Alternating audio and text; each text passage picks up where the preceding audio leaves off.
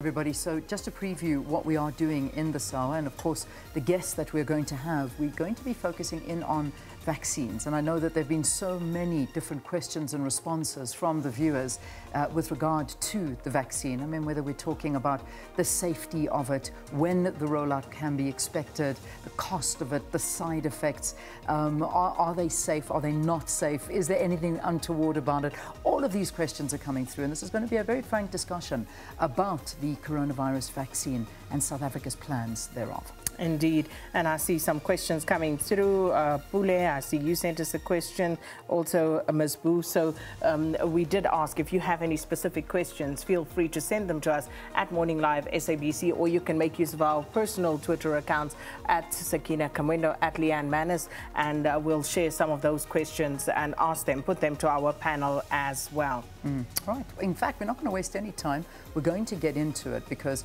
I believe that we have all of our guests that are joining us there online. So let's talk about it. During President Cyril Ramaphosa's address to the nation uh, earlier this week, he made reference to a vaccine being available for 10% of the population in the early part of 2021. However, words such as, uh, and phrases such as vaccine nationalization, gluttony, equal distribution. The hallmark of our times is inequality and the need for structural equality, given the impact of the pandemic, seem to be dominating the public discourse. Indeed, Leanne. And beyond pharmaceutical companies, of course, universities and countries participating in testing, such as South Africa, um, other key players are COVAX, the global partnership between developed and developing countries, and of course, BRICS uh, Vaccine and Research Development Center, to name but a few. So to discuss possible COVID-19 vaccines in South Africa, we're joined now by a panel consisting of Dr. Anban Pillay from the Health Department,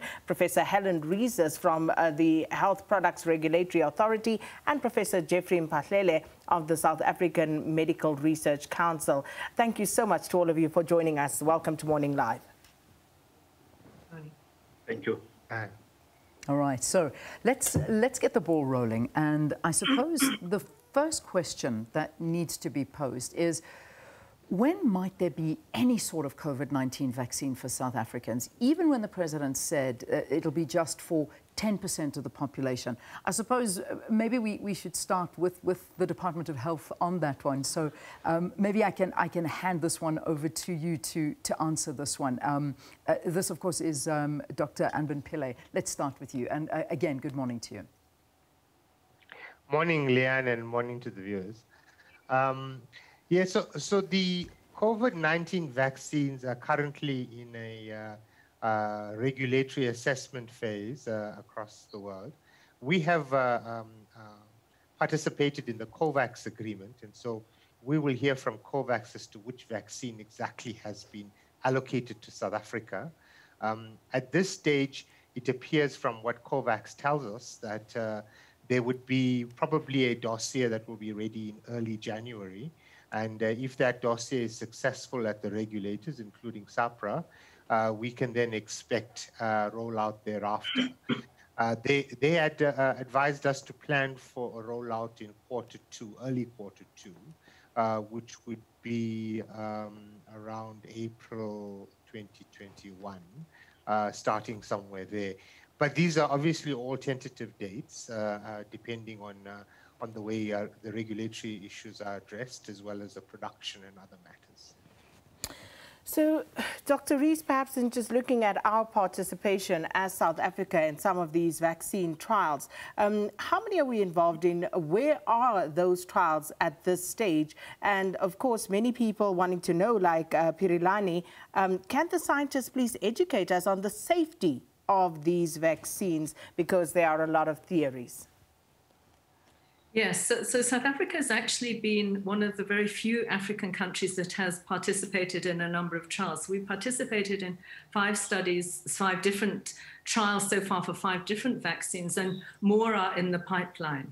Um, because just because we have one effective vaccine now licensed in the world, that it doesn't mean that the studies won't go on, and we're going to have different uh, waves of, of new vaccines with uh, new technologies coming through over um, probably the next year.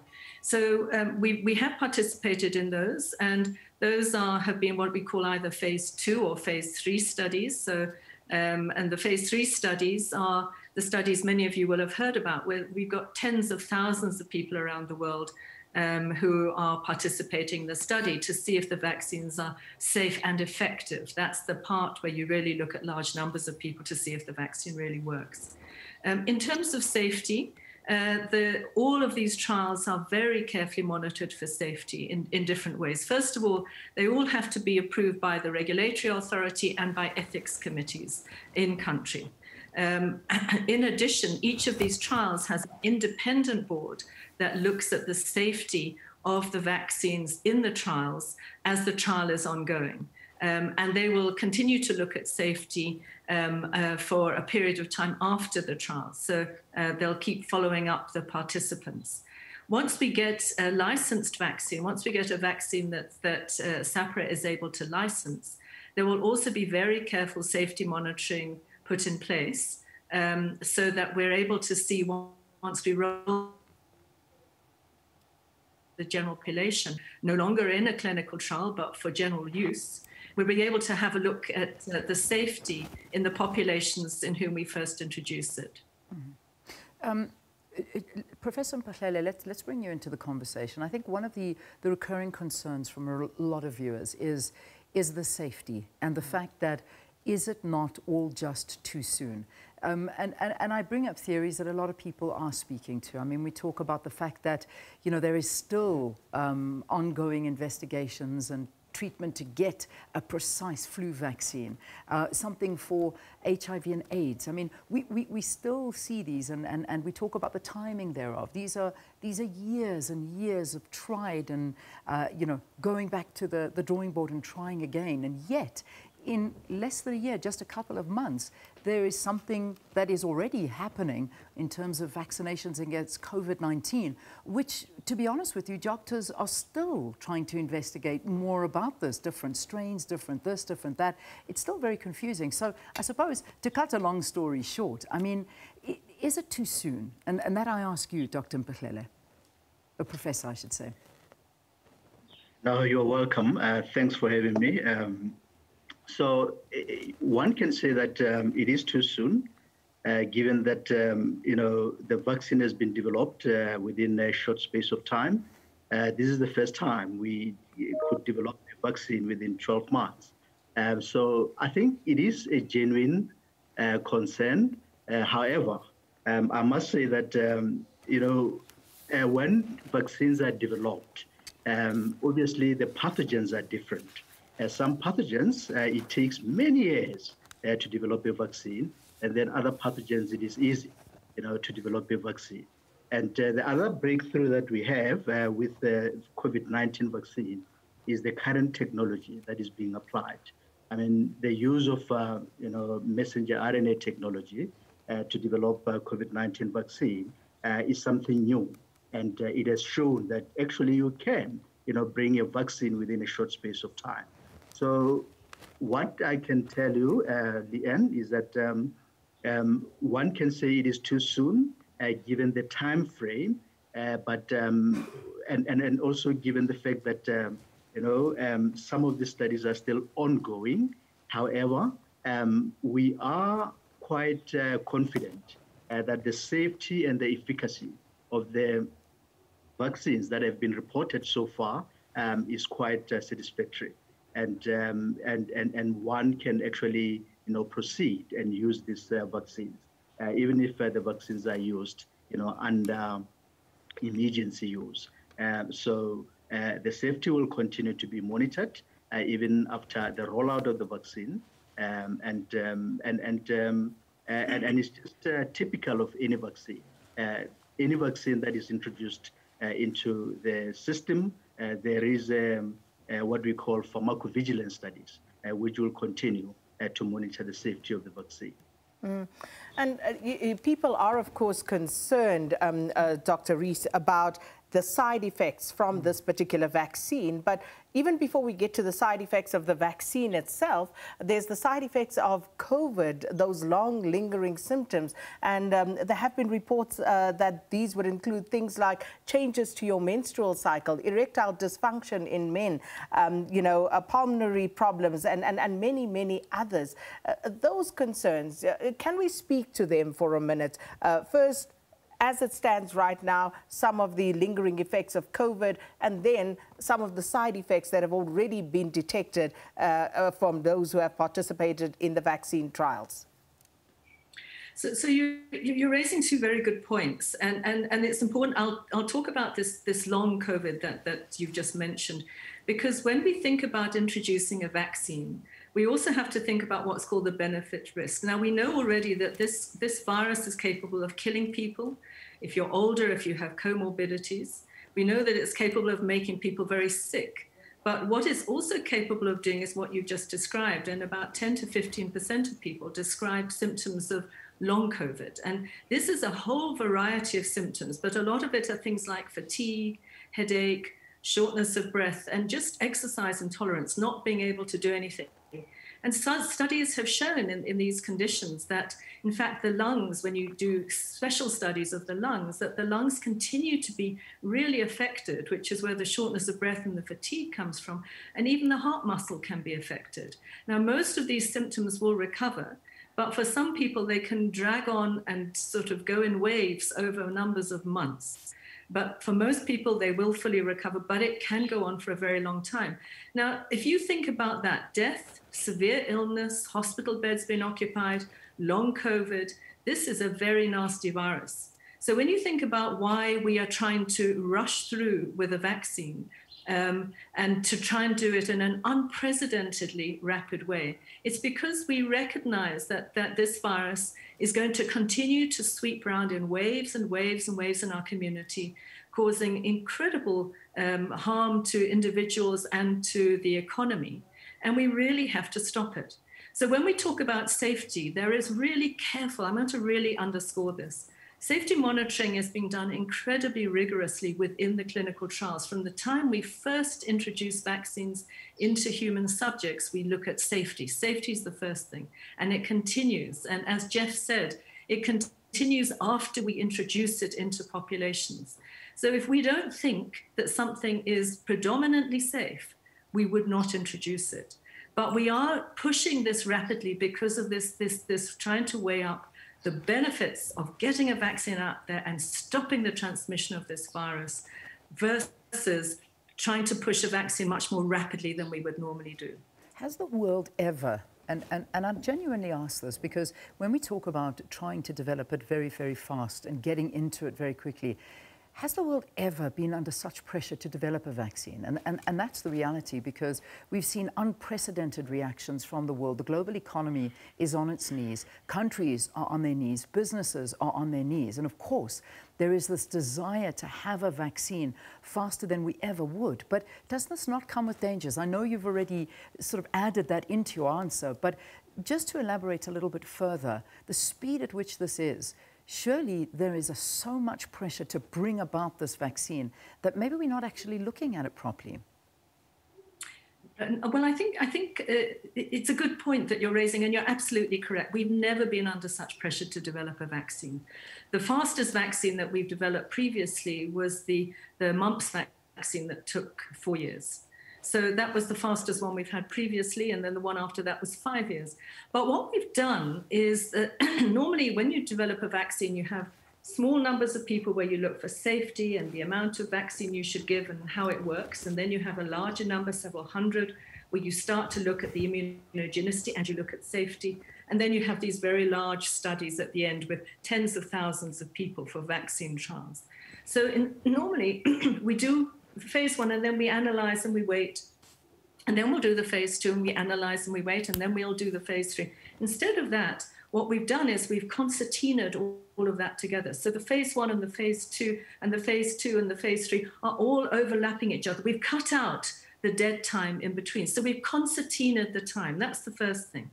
The standards applied in the phase one, the phase two, the phase three, and when we monitor once we introduce are exactly the same standards as we would have for any other vaccines. We haven't lowered regulatory standards. We haven't lowered the standard of a clinical trial to try and fast track things. So we have to be very confident as regulatory authorities that we're looking at safety, the quality of the product, and the efficacy of the product. We have to look at all of those. If we're not happy with that, we will not register a product. And I want to say that very strongly to the South African public. The South African Health Products Regulatory Authority has a special team set up dedicated to do this so we can do it as rapidly as possible. But we're not going to cut corners on what we look at when we evaluate that product. Now, Dr. Pillay, um, you see if you scour the social media pages, people uh, questioning uh, the distribution of the vaccine, for example. Um, just to mention some of those uh, buzz phrases that we stated at the top, vaccine nationalism, gluttony, equal distribution, um, uh, the need for structural equality given the impact of the pandemic. And we know that some of the richer countries have already indicated uh, that they will be rolling out vast amounts of these vaccines. But where does that leave us? Because people are questioning the fact that um, we form part of the vaccine trials, for example, but how far down the line are we in terms of receiving distribution of these vaccines? And perhaps also speak to our partnerships with BRICS nations and what we could possibly expect from them. Dr. Pillay? Thank you. Thanks for that question. I think it's very important. Um, the the uh, developing uh, uh, countries have largely uh, you know, been at the at the back end of receiving vaccines, largely because the manufacturers of these vaccines uh, require funding, and they're obviously looking at countries that will be able to pay higher prices for vaccines. So you would have noticed that uh, the U.S., um, the U.K., Canada, and other more developed countries and wealthier nations have been funding uh, the uh, uh, manufacturers of these vaccines very early on, and uh, in the process have pre-booked uh, vaccines out of these facilities even before a vaccine was even developed. We in the developing world, as such, uh, um, obviously didn't have that kind of financing to be able to fund huge vaccine trials to the extent that they have been financing.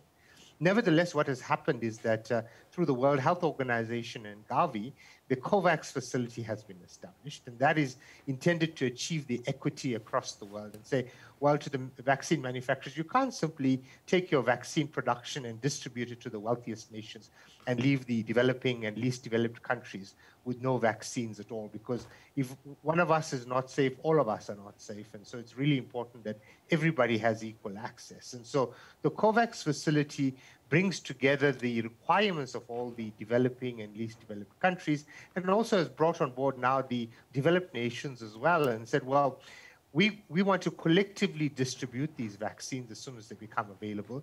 So the fact that you can pay a higher price or you're wealthier doesn't mean you should get more vaccine.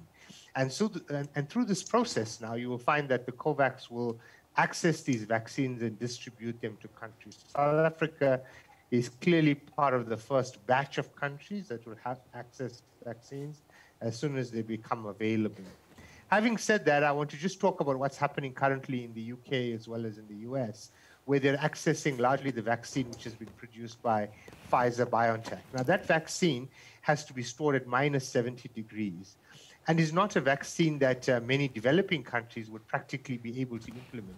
Across South Africa, we have a very limited number of minus 70 degree refrigeration facilities where we'd be able to roll out a vaccine on a mass scale that the US as well as the UK is doing. So clearly, we would be looking more for a vaccine that we can roll out that can be stored at temperatures where it can be kept in the fridge, etc. And I think the number of those vaccines are coming through, and as I indicated, I think in, in uh, early January, those will go through for regulatory approval, and hopefully by the first uh, by quarter, uh, the first months of quarter two, we can have those vaccines in country to start our program where the, uh, the, um, the 10% uh, of the population will be able to access those vaccines.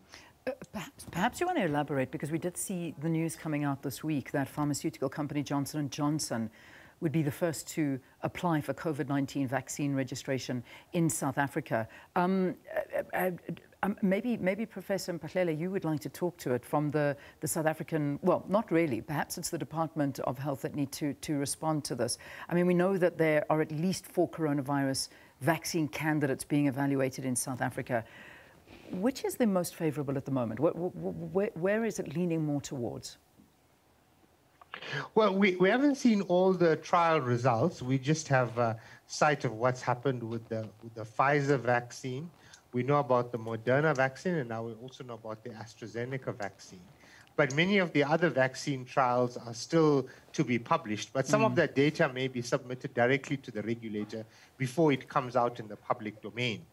But ideally, from a, from a theoretical perspective, you would want a vaccine that is a single dose. Many of the other vaccines are a second are, are a two-dose vaccine, meaning uh, uh, the person would have to get a second dose in about four weeks or so after the first dose, and that is quite uh, difficult to do to find the same person a second time. Additionally, I should say that the, the cost of a vaccine program is probably equivalent to the cost of the vaccine, if not more, particularly with, this, with the two-dose vaccine. So if I was to theoretically uh, uh, uh, um, state my preference, certainly a single dose vaccine that's kept under I know temperatures such as a refrigerator would be preferable. However, that depends on what the data tells us about the performance as well as the safety.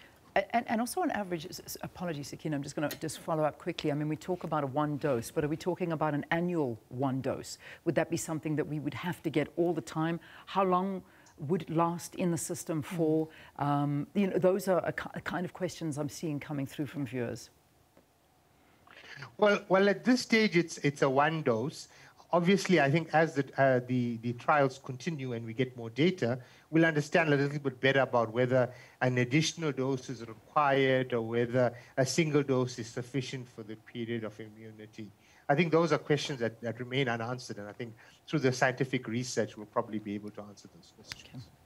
And then, uh, Professor Mphahlele, how much of a concern is it that we are now seeing, for example, in the UK, a variant of the virus? Um, and, you know, in South Africa, have we already experienced uh, similar occurrences? And is it possible that these new strains, the new variants, might actually be resistant to the vaccine? Um, thanks um, for that question. Uh, very interesting. But um, I can say that um, at this stage, uh, there shouldn't be any concern uh, whether this variant will be um, um, will resist uh, the vaccines. Uh, even in the UK, where the variant uh, is circulating, it's been shown that actually it's not a threat in terms of vaccine development or performance of the vaccine. so there shouldn't be any cause for concern uh, with uh, that uh, regard. Mm.